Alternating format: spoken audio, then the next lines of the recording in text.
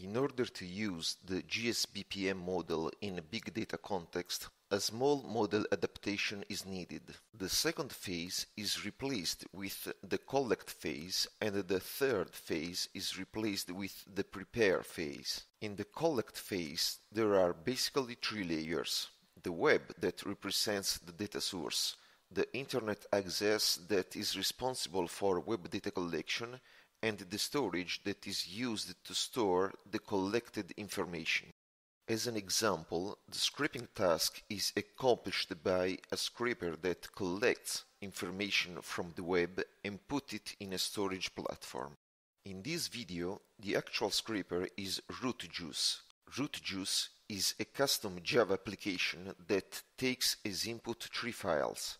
A seed file containing the list of the URLs to be scraped, a list of web domains to filter out, and a configuration file. Once launched, RootJuice for each URL in the seed file collects the textual content of predefined parts of the website and put them into a CSV file.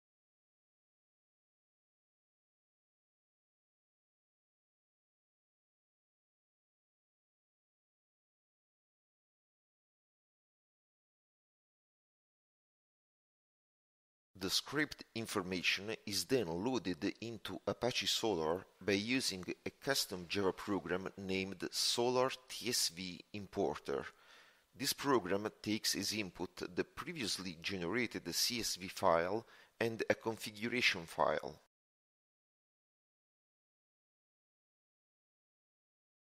Solr is an open source enterprise level search and storage platform. It's possible to interact with Solr by using its web graphical user interface. As previously said, the scripted content will be loaded into Solr by using the custom Java program Solr TSV Importer. Once launched, the program loads the content of the CSV file into Solr.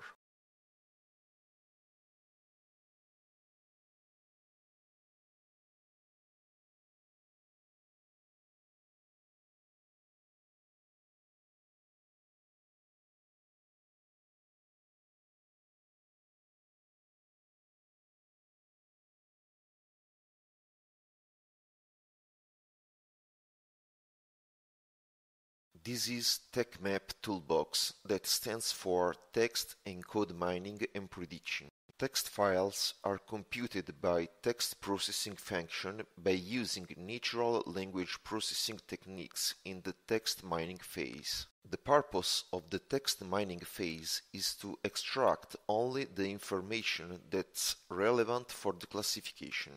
The output of this phase is composed of four files visible on the tooltip.